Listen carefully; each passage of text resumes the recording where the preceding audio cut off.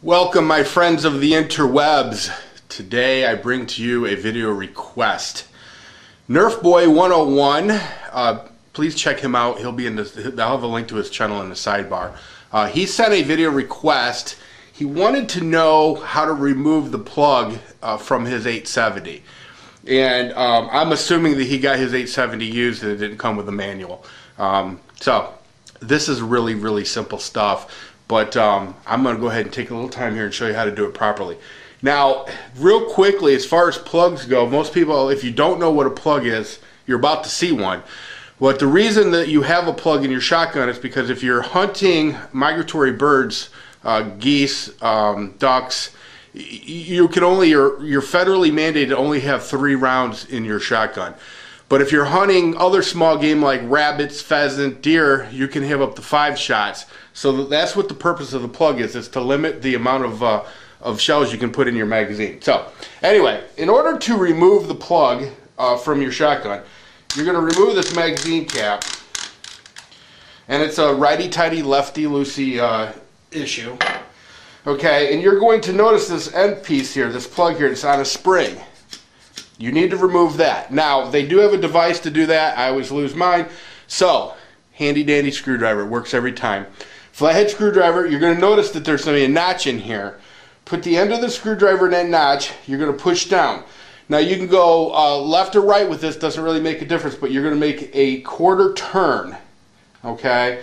And then you're going to come up. And when you do, you're going to notice that that's going to come right out. Now be careful when you do this because this is going to be under tension from the spring here. Okay, then you remove this cap right here. Set it aside. This this green thing here, I don't know if the color's going to come across, that's the plug. Okay, that's what you're going to remove. And as you can tell, that's good, that takes up uh, quite a bit of room, well, two shells worth of room in your magazine. Now, once you remove the plug, you're going to put this, this cap back on, okay, and you're going to do exact opposite. Push it in, quarter turn, there you go. Screw your magazine cap back on, and voila, there you have it. Now you can put five rounds uh, in the shotgun. Okay, now we're going to do it in reverse to put the, uh, the plug back in. Lefty loosey handy dandy screwdriver, push down, quarter turn, come up, and like I said, be careful because that spring's under tension. Not a ton of tension, but it'll fly up if you uh, if you're not careful. Put your plug back in, cap back on.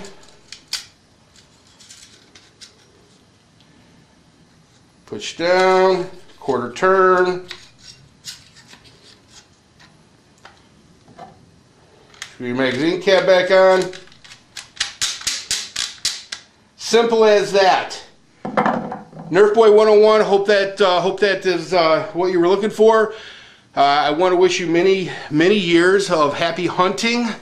And uh, and by the way, the 12 gauge shotgun is a is a fabulous weapon to defend your home with also. So anyway, if anybody else has any uh, any requests, I like to do those twice on Saturday. So anyway, everybody uh, take care.